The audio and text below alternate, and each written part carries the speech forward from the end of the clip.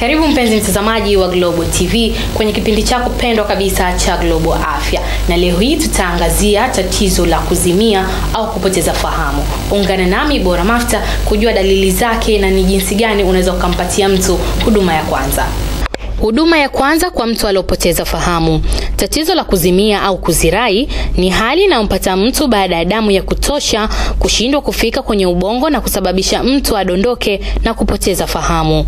Mara nyingi tatizo la kupoteza fahamu hudumu kwa muda mfupi, kisha mgonjwa huzinduka endapo atapata huduma stahiki za kumfanya azinduke. Tatizo hili ni nini? Nini maana ya kupoteza fahamu? Kupoteza fahamu ni tatizo ambalo linasababishwa na upungufu wa damu kwenye ubongo, yani supply ya damu kwenye ubongo inakuwa ni ndogo. Vitu gani ambavyo vinaweza vikasababisha supply ya damu kuwa ni ndogo? Binadamu anaweza akazi, akazimia au kupoteza fahamu katika mazingira tofauti tofauti. Mfano mazingira hayo, kwa mfano mazingira yenye msongamano mkubwa wa watu, ambapo mazingira hayo yanamsababisha mtu anakosa hewa ya kutosha na hivyo anazimia. Sababu nyingine inaweza kumsababisha mtu kuzimia ni mawazo. Mtu anakuwa na msongo wa mawazo ambao pia hiyo inasababisha presha ya damu au blood pressure inashuka. Kwa kunakuwa kuna pua, kunakuwa kuna supply ndogo ya damu na oksijeni kwenda kwenye ubongo na hivyo mtu anapoteza fahamu.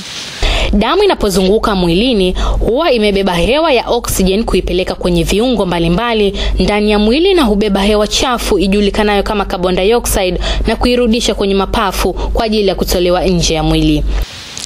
Sababu nyingine ni joto kali.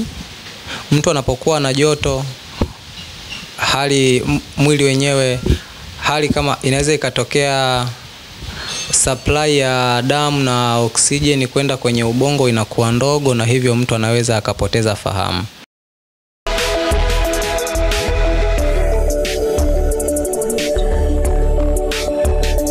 Mbali na mshtuko, zipo sababu nyingine nyingi zinazoweza kusababisha mzunguko wa damu ukashindwa kwenda kwenye inavyotakiwa, ikiwa ni pamoja na mtu kupoteza damu nyingi baada ya kupata ajali, kushuka kwa kiwango cha sukari kwenye damu, kukosa hewa safi au kusimama kwenye sehemu moja kwa muda mrefu. Pia husababishwa na mwili kuishiwa maji, matumizi makubwa ya pombe au dawa za kulevya, msongo mkali wa mawazo, maumivu makali, kukaa muda mrefu kwenye jua kali au matumizi ya baadhi ya dawa za hospitali.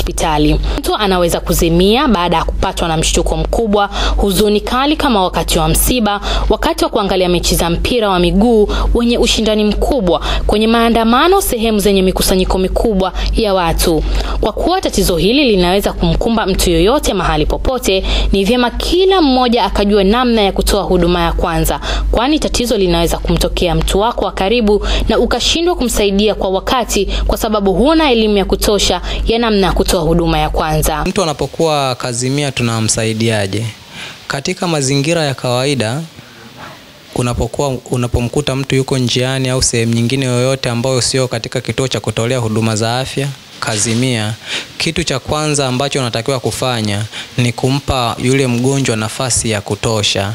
Msi, msije mkamsogelea wengi, kwa sababu unapomsogelea mnapunguza pia hewa ya hewa ya oksijeni anakuwa anavuta na hivyo unakuwa hutibu tatizo. Unapoona mtu amepoteza fahamu, kama upo naye jirani, unaweza ukamuwahi kwa kumdaka ili asidondoke na kuumia zaidi. Lakini kama tayari ameshadondoka, kitu cha kwanza ni kumlaza chini sehemu ya tambarale akiwa anatazama juu, nikimaanisha chali. Kitu kingine cha pili ni kuinua miguu juu, yani unamlaza una unamlaza kana kwamba kichwa kinakuwa chini miguu inakuwa kidogo imepanda juu. Hiyo hapo huwa inasaidia kuweza kusukuma damu kwenda kwenye ubongo, na hivyo ubongo unapata unakuwa unapata hewa na damu ya kutosha, hivyo mtu anaweza akasaidika mapema. Baada ya hapo, mpunguzie nguo zinazombana ili kurahisisha mzunguko wa damu. Unaweza ukamlegeza mkanda kama amevaa.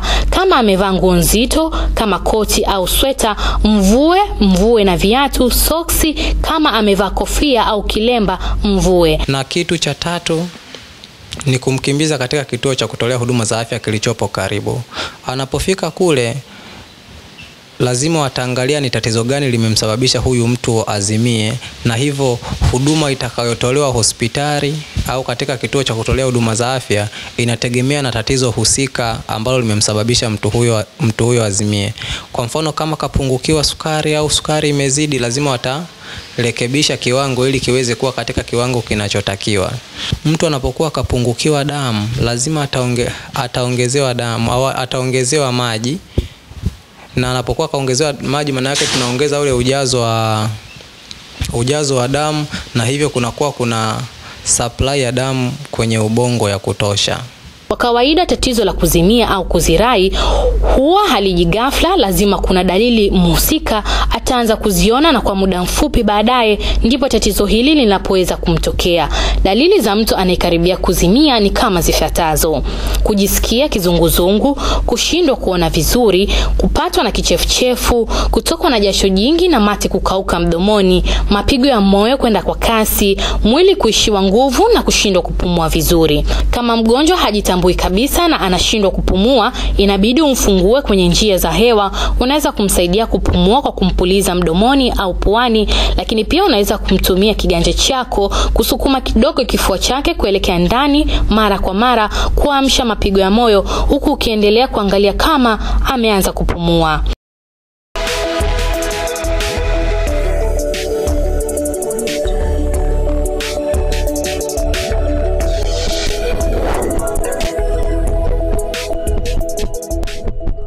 Ni matumaini yangu umejifunza vya kutosha jinsi ya kumpatia huduma ya kwanza mtu aliyepoteza fahamu, lakini usisahau kupitia mitandao yetu ya kijamii Facebook na Instagram tunatumia Global Publishers, Twitter tunatumia Global Habari na website yetu ni www.globalpublishers.co.tz. Mpaka wakati mwingine, ulikuwa nami Bora Maftaa.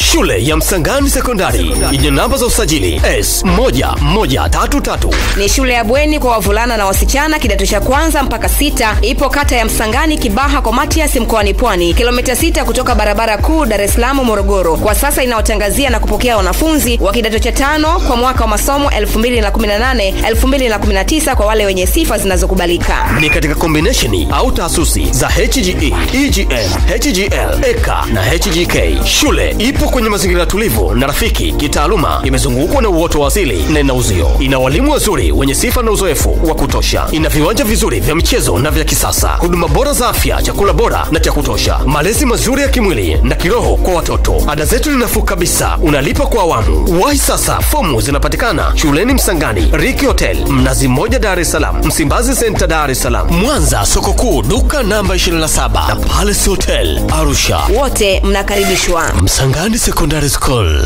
learn to excel.